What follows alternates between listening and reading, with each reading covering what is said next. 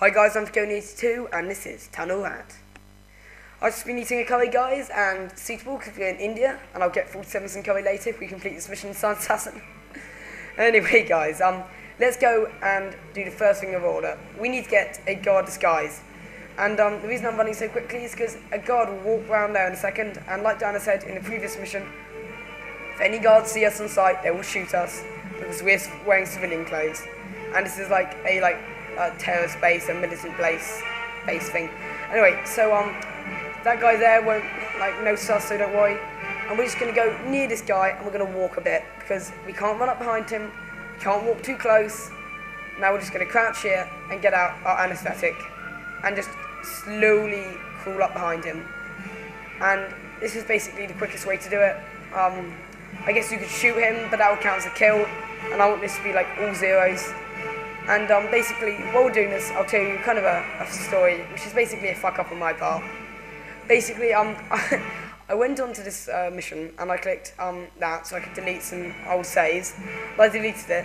Then I decided, oh, let's load up our next thing. But I was an idiot and I was still on delete saves. And then um, I deleted all our save gameplay so far. Yep, it was a stupid thing to do. And then um, I was like, oh, what the fuck am I going to do now? But luckily, I was still on this mission. And you think, why didn't you just record from here? And that's because my recording equipment stopped working, which was annoying. Um, so basically, I completed the mission on Silent Assassin and saved, basically. Um, I got, it took me about 20 minutes, I got one alert, so you're going to have to take that off my overall. But all I did was I then went on to mission select, reloaded this mission, and this is a different day, right? And um, my recording stuff started working, and I basically just went from there. So now we are almost behind this guy. He's going a bit quickly, but slowly but surely, like a coiled snake. 47 strikes. Now guys, give him all five doses because we want him to be asleep as long as possible.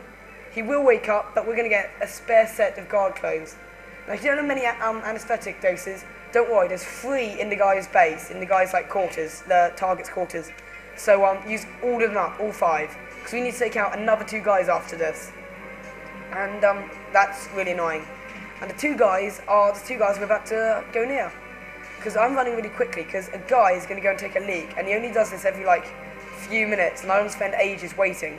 You can't sneak past this guy into the base, and um, or he'll see you, and he barely ever like he does walk around a little bit, but he always turns around if you go anywhere near. So that's the only time to sneak in. And um, you're probably wondering why I didn't bring the AK or anything. That's the guy there. I Should go in a minute. And that's because as soon as we get the package, um, it will come up in that little warehouse there. We can't open the door now and get to it. Sorry, guys. Like I was saying, I was eating curry. Um, basically, as soon as um, we get the package, um, will tell us to clear the airfield. And as soon as we take out the second guy with anesthetic, the mission will end. And we can't hold any gun. So, unless you do a different way, which is sedate these guys first after you've called our targets, go back down, and then go up the lift. But um, and then you can get the MG because there's actually an MG, the same MG that um, oh, what's his name?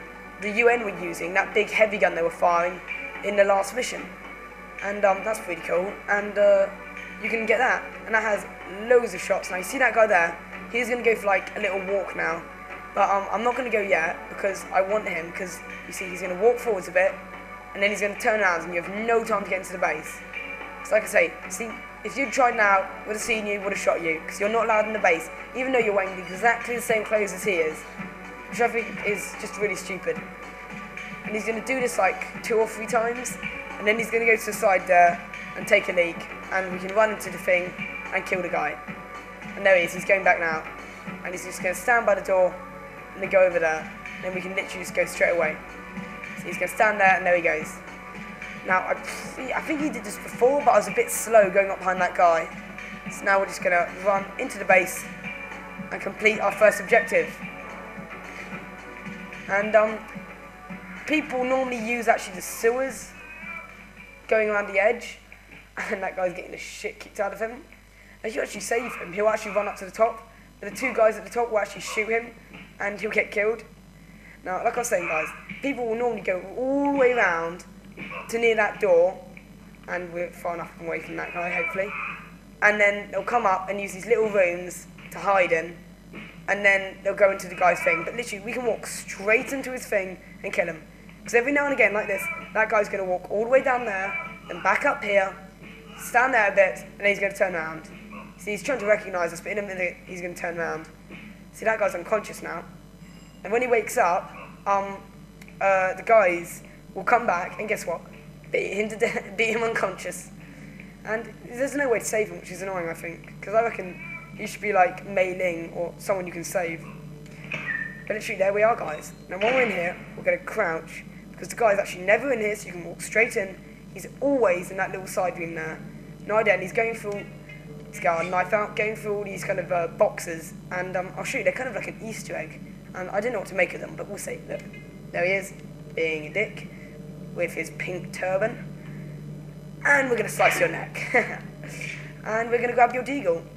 Desert Eagle. And look at it. It says Hitman, Codename 47, and it's got the picture from Hitman, Codename 47. And he's got loads of boxes with all these stamps on. And he's also got loads outside. By the way, guys, do not take his clothes. You take his clothes, any guard sees you, they'll run to the alarm, and all the guards will start become really suspicious. They won't instantly shoot you, and it's stupid, so never take his clothes. And look, there's some more boxes. And now we basically need to wait for that guy there to move. And he's going to do that in a minute. Um, and here I'll tell you how to get the MG. Basically, um, you go to the MG in the guard room, and there's also the guard suit there. Okay, he's moving now. Mm. Yeah, they're guys, they're going to switch over. I'm actually going to wait until that guy walks all the way down. Because I don't want to get I'm seen by that guy there. But anyway, there's a guard suit there, because the other guy we um, said at the beginning will wake up, and they'll look for a suspicious guard, which will get annoying. So now we're going to crouch, because suddenly, if you walk in here, he can hear you, which is stupid, I know. And um, just trying to not miss my cue. Okay. Now we're going to walk fairly quickly, because that guy who just walked around the end there is going to start coming back. So we're just going to tap the one button and get into the area. So, here we are, the guard quarters. Now, do not run in here. All these guards, right, this is another really funny thing in this mission. Um, all the guards here, they sleep holding their AK-47s. Look at them. What idiots. Look, so funny. See, that guy's just woken up. Now, normally, if we walk past guards now, they will get super suspicious. But what we're going to do is we're going to take a brand new guard suit. And that's basically like, it is just a new disguise. And even though we're still a guard, I, it won't matter. It's like we're wearing like a completely different like suit or something. Anyway, guys, they've got an AK here and the MG, or the M60 as they call it. And look at that, it's huge. You can clear whole maps with this gun. And the way to get this gun basically is, um, what you want to do is you're going to walk around with it, go to there, drop it by the lift, then you're going to walk up to there, take out those two guys, because you have to take clear the airfield, like I told you earlier, and as soon as you take out the second guy, mission will end, unless you haven't taken a package up. So you'll take those two guys out, um, five doses each, and then you'll go back down there, through there to there, um, where the lift is, pick up your MG, and take the lift up. And as soon as um, the cutscene ends at the top, mission will end. And that's it. And now we're going to leave, because um, we don't want any guards seeing us or anything. And in a minute, the guards are actually going to find the guy's body. They have no idea he's dead, but they'll just check on him randomly. And um, they won't care that he's dead. No alarm will be raised. He'll just be dead. Okay, that guy's going to come back now. They're going to switch over, right? And he's going to walk all the way to the end. And that's when we're going to jump into the sewers and um, uh, make our exit to the bomb place where the package is. Now, what's something quite funny is when you're in the sewers, it's the same picture, um, which is on when it's at the beginning when it has the loading bar and says rat tunnel.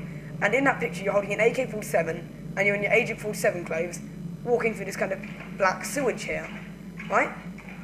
Now, good, the guy's gone into there, we can run.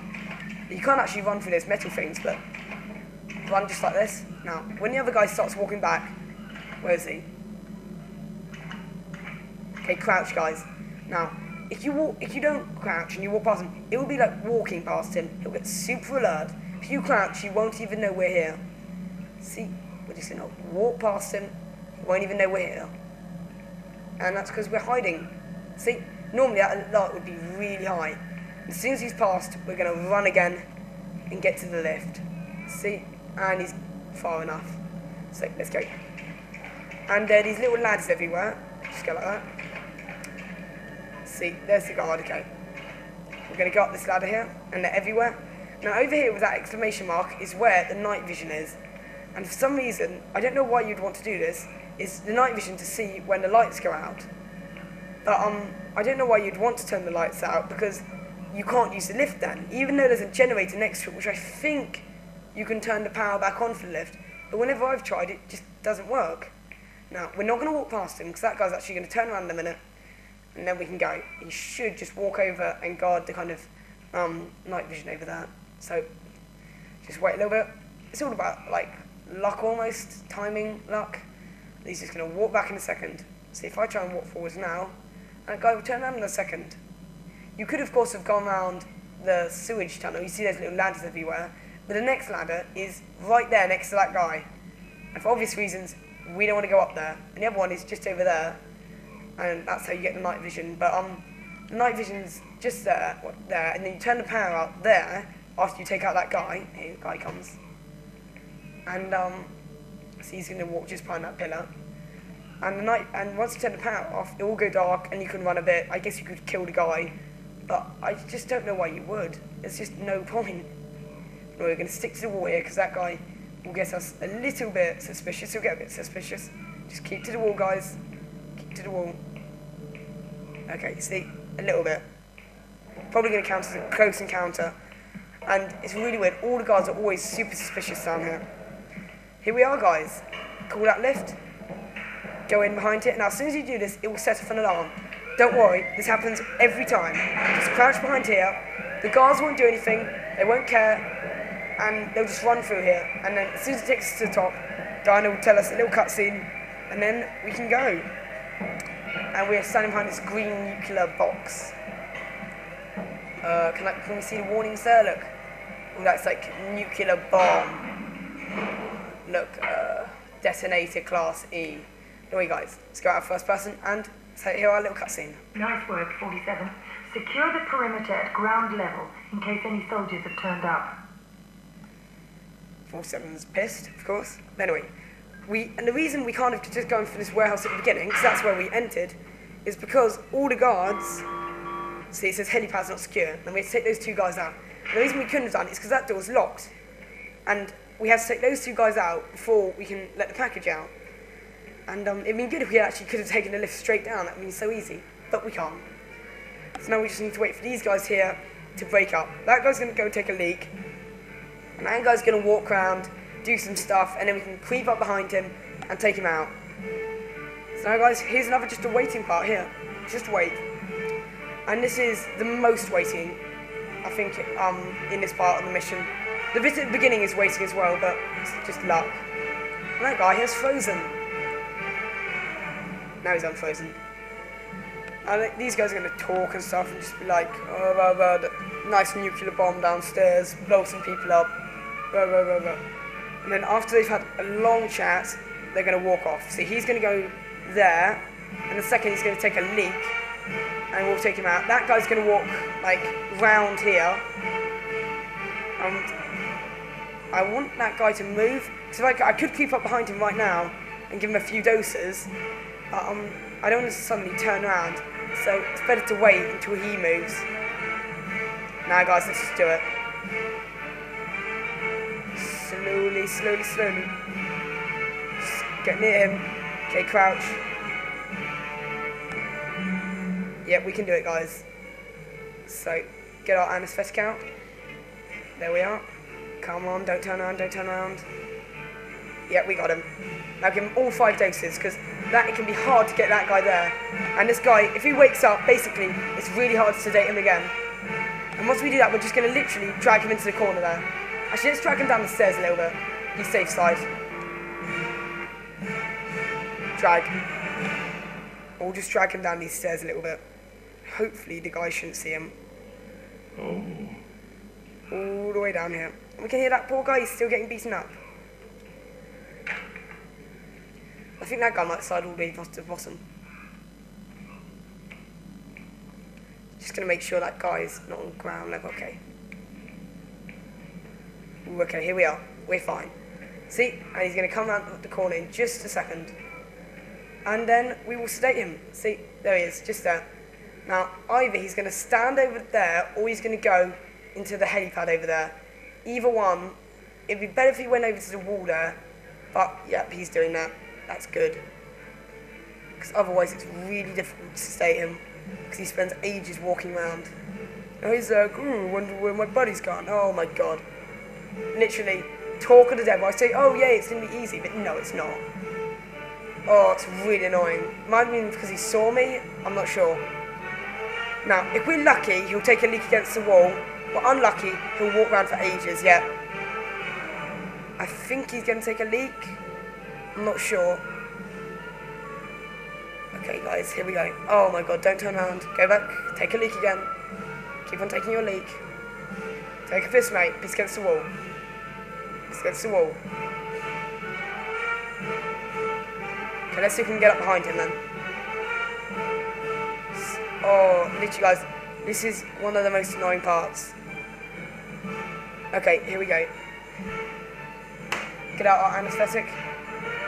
Here we are, guys. One dose. And there we are. There we are, guys. End of mission. There we are, guys. Silent Assassin. 15 minutes overall. So take away 20 minutes from that. We've just done a little over two hours, which is cool. Um, we've killed only five alerts, only six shot fired, uh, six alerts, I mean, guys, mean, six shots fired on one close encounter, um, and one enemy killed. So there's a little cutscene after this, and let's have a look at that. I'll just save really quick. Um, there we are. And we will save there, guys. And then these guys come and pick the bomb up, and uh, then we'll go back to Gontranno. So here we go.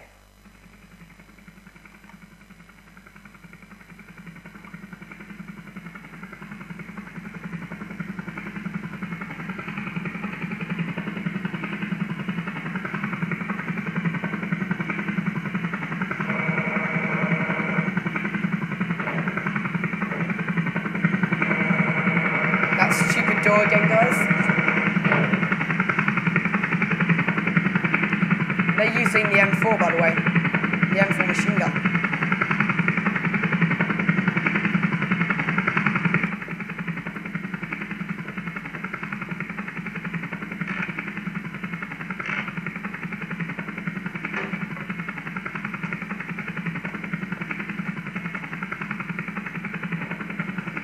Be careful, that's a nuke.